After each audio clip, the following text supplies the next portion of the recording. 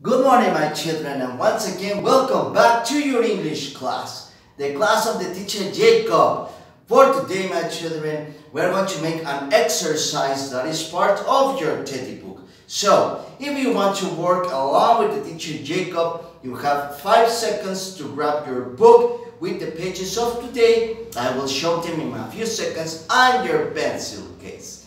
Recuerden chicos que si ustedes quieren trabajar junto con el teachercito Jacob para realizar estas dos actividades, es importante que vayan por su libro y por su estuchera.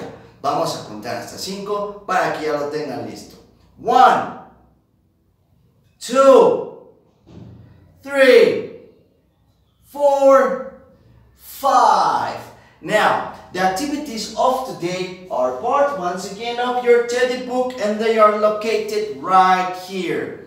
Page 49 of the family of the 40s and page 50. Now, once again, remember the teacher Jacob works on the whiteboard so you can appreciate better the results. Now, before we commence with the activities, let's have a review of yesterday's video, which was the topic, what is it? Remember, the word what is it in Spanish, ¿qué es? And according to the object that the person is showing to you, the person will have to say, it's a Antes de iniciar con nuestra actividad del día de hoy, vamos a hacer un repaso de lo que estuvimos trabajando el día de ayer. Recuerden chicos que el tema de ayer fue la pregunta What is it? ¿Qué es? Para esto recuerden que la persona que les está mostrando el objeto al que se refiere va a tener que contestar It's a y el nombre del objeto. For example, once again, this it's an eraser. What is it? It's an eraser. Es un, uh, it's a marker. Es un marcador. Once again, let's practice with this. What is it? It's scissors. The word scissors in Spanish, tijeras.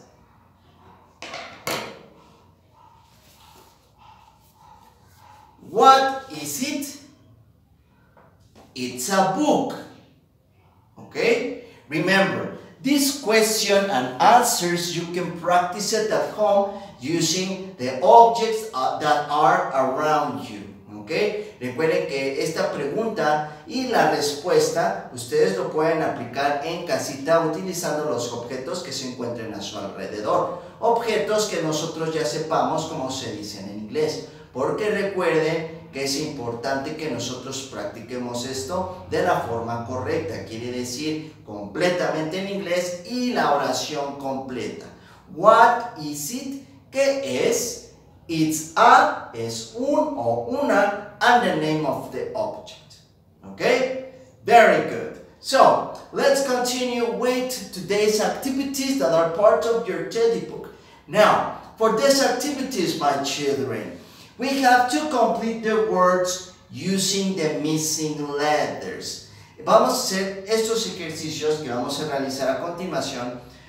Es, tenemos la palabra escrita, pero nos hacen falta letras. Así es que tenemos que completarlo con las letras que necesitamos para que la palabra esté en orden, esté completa. Okay? Now, how can I, how can I tell what are the missing letters? By checking the complete word that is next to. ¿Cómo voy a saber qué letras voy a ocupar para completar la palabra? Aquí al lado tenemos ya las palabras completas. Recuerden que tenemos que ver letra por letra para ver cuál es la que falta. ¿Ok? Very good. So, let's begin. For this activity, it's important that we work with the pencil because if we made a mistake, we can erase it, ¿ok? Recuerden chicos que para estos ejercicios de escritura es importante trabajar con lápiz porque si hay algún error lo podemos borrar sin problema. Let's begin with page 49. Vamos a empezar con la página 49. Remember 4 and 9, 49, which is right here, this section. We have the word sister. Now, talking about members of the family, remember we had the father, the mother, the brother, the sister, and the baby. So the word sister in Spanish, what is it? Hermana, very good. So, let's check the missing letters. We have letter S, excellent. Letter I of Indian, of igloo. That's one of the missing letters. We write it. Then we have letter S of Saul, letter T of train. That's another missing letter. We continue with letter E of elephant. We write it. And finally, letter R. And the complete word, it says sister, which in Spanish, hermana, a member of the family. Let's continue with number two. Ah, okay, I forgot to mention something. Under each one of the words, we have a sentence. Debajo de cada una de las palabras que estamos completando aparece una oración. I'm going to read it for you and then we're going to discuss it. What, is, what does it mean in Spanish?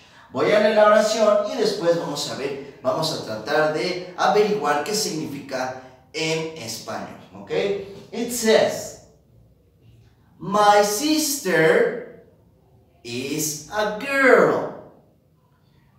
My sister mi hermana is a girl, es una niña. Remember, we have boys and girls. Boy, niño, girl, niña. My sister is a girl. Mi hermana es una niña. Let's continue with number two. Once again, next to, we already have it in complete form. Ya la tenemos completa. Let's check letter by letter to see which one is missing. Letter H of hot dog. Letter O of Oscar. That's the missing letter. Letter U of unicorn. Letter S of Santiago. Right here, we write it. Letter E of Emiliano. How the word says house. Now remember, we already saw this topic before parts of the house. The word house alone, casa. Remember, we already mentioned parts of the house. Each one of the rooms that compose our house, each one of them have, has their own name. Recuerden chicos que una casa está compuesta por varios cuartos. Cada uno de esos cuartos tiene su respectivo nombre. The bathroom, the place where we take a shower, baño, the bedroom, the place where we go to sleep. Recámara o cuarto. The living room, the place where we watch the television. Sala. The dining room, the place where we eat. Comedor. And finally, the kitchen, the place where we cook. La cocina. Let's continue with the sentence that appears under it. It says, My sister lives. The word lives, vive. Pero no de que está viva y respira, inhala, exhala, no. Vive de que se encuentra en un lugar. Vive in a house, en una casa. My sister lives in a house. Mi hermana vive en una casa. Let's continue with the next sentence. Once again, the complete, the, the complete word it says, letter P of Pedro, letter E of Elena, letter N of nurse, letter C of Carlos, letter E, letter I, sorry, of igloo, letter L of lemon. The complete word, it says pencil. Now, pencil, it's part of the school objects, remember in Spanish, lápiz. Under the word pencil, it says, my sister, once again, the sister. My sister has a pencil. Mi hermana tiene un lápiz. Okay? Very good. Let's continue with the next sentence. It says, the missing letter, letter H of hot dog, letter A of Alan, letter T of tomato, and the word it says hat. Now hat, it's part of the family of clothes, and it's an object that we put on top of our head. In Spanish, hat, sombrero. Recuerden que los sombreros pertenecen a la familia de la ropa. Okay? Very good. So, under hat, we have the next word. Let's complete it. Letter B of pencil. Letter E of Elena. And letter N of Nicole. And the word says pen. Now, pen, as in the case with the pencil, both of them are school objects. The pencil in Spanish, lápiz, pen in English, pluma.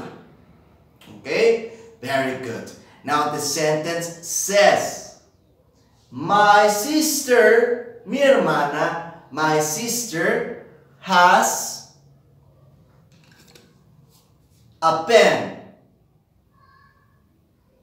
My sister has a pen. Mi hermana tiene una pluma. Okay? Very good.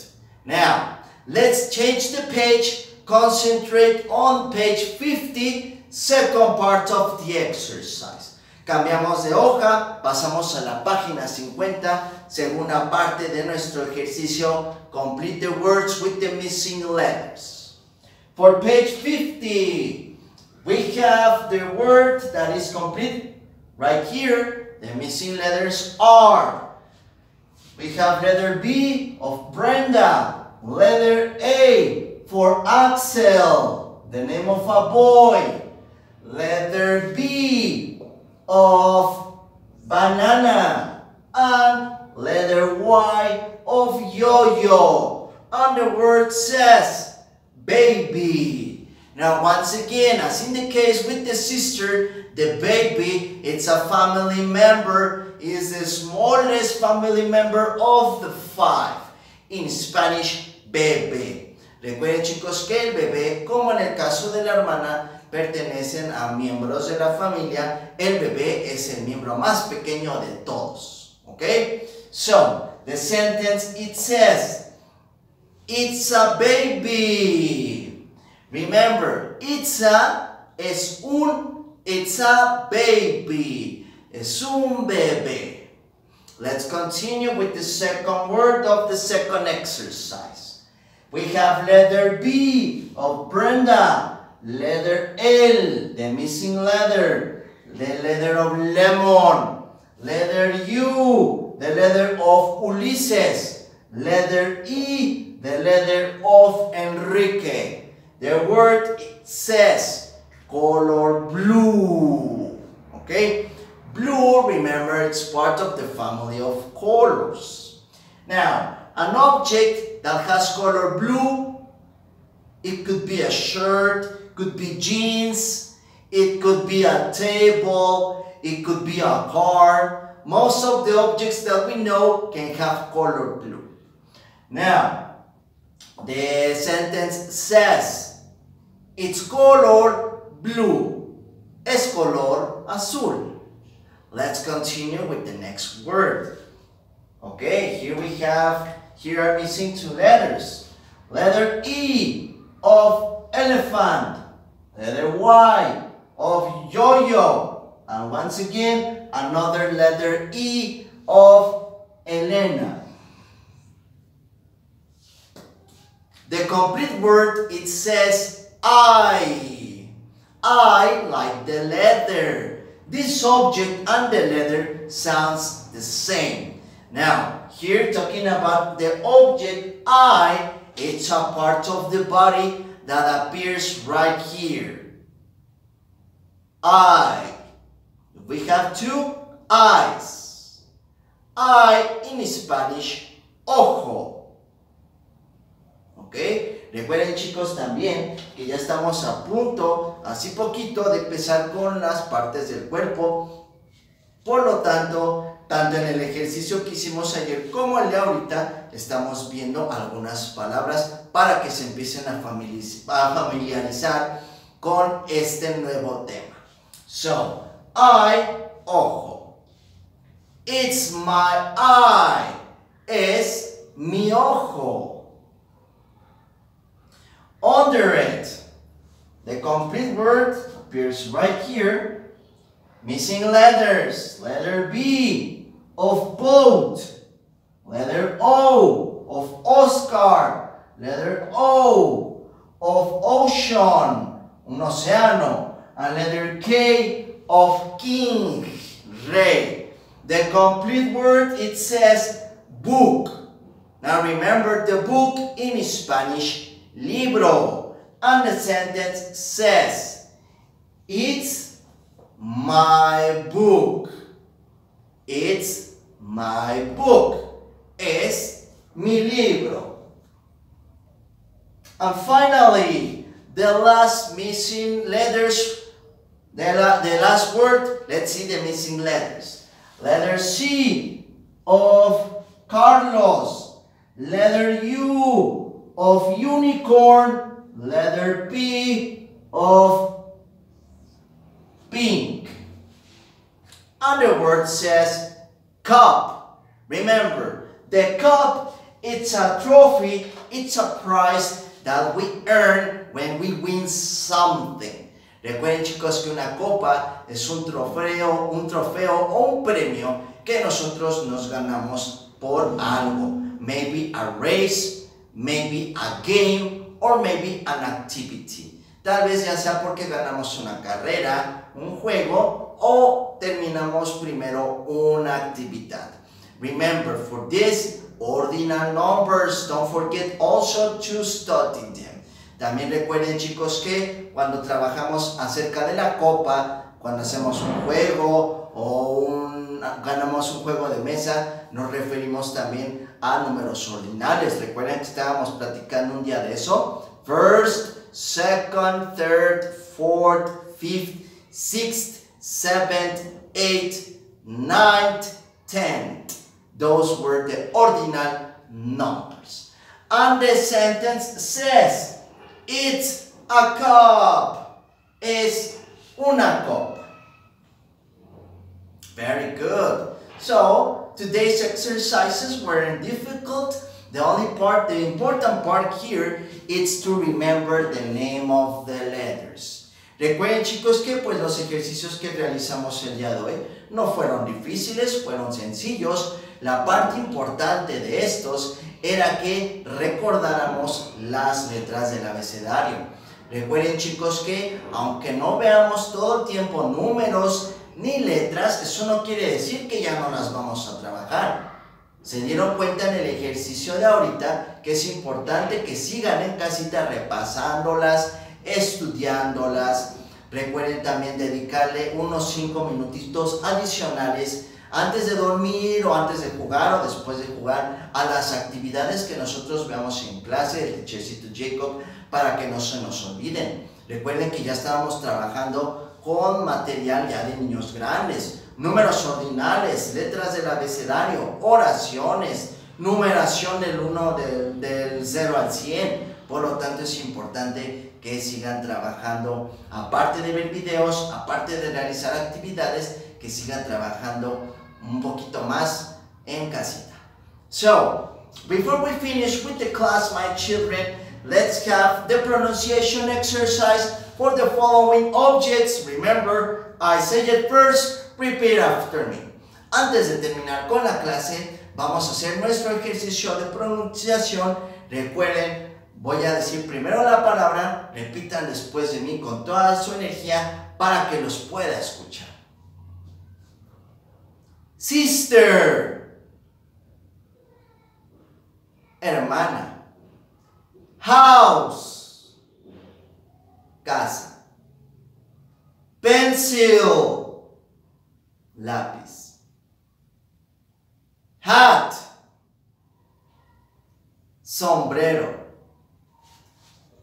pen, pluma,